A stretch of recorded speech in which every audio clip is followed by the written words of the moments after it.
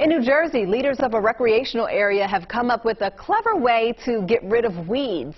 They've hired a group of goats. Yes, goats. It's happening at Saddler's Woods, a historic 25-acre tract of woods in the middle of the suburbs. Our Madeleine Wright has the story from Haddon Township.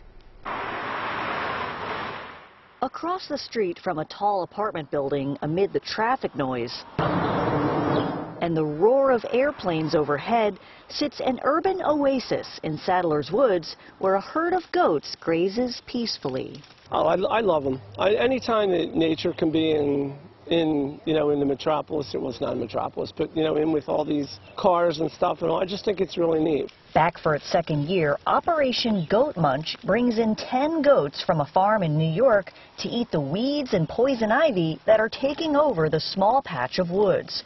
Janet Goehner-Jacobs is the executive director of the Saddler's Woods Conservation Association, which is spending $35,000 to rent and maintain the goats. They are eating a variety of invasive species, so they eat garlic mustard, multiflora rose, Japanese knotweed, basically all the baddies in the woods that we're trying to get rid of. Goehner-Jacobs says some of the goats were rescued from abusive petting zoos. Others are retired milking goats, all of them getting a new lease on life. It's really interesting to see people come together as a community around the goats. The project creates an opportunity for complete strangers to form a bond. Dozens of people came to say hi to the goats on Mother's Day. So I'd like to see more of this. I mean, this is just another example of just, you know, uh, I think natural maintenance.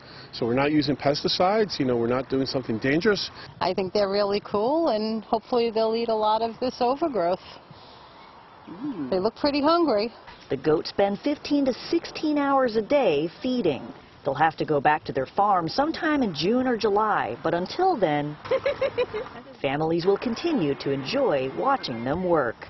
In Haddon Township, Madeleine Wright, CBS News, Philadelphia.